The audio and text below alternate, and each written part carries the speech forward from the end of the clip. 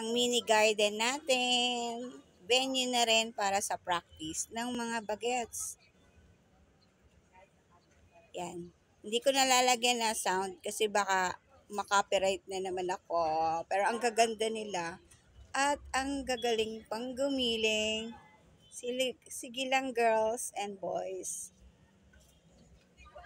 Mga estudyante nga pala sila, high school.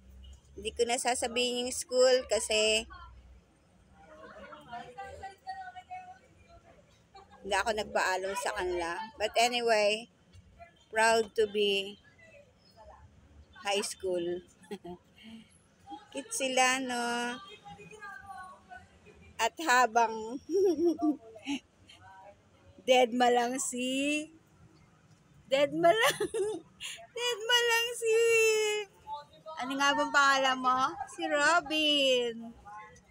Inayos ko na yung gahin niya kasi baka mamaya bumagyo na. At lalabas na nga pala ako. Ayun ang mga Girl Scout.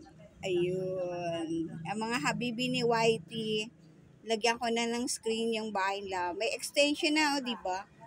Ayan. Ay, nakita ba? Ayan. May extension na. At dahil dyan, lalabas na tayo. Friday nga pala ngayon, babagyo daw. Kung may gulay. Bukas pa naman sana. Pero dumidilim na. Kaya, lalabas na tayo. May ahabulin na ang trabaho. Okay, guys.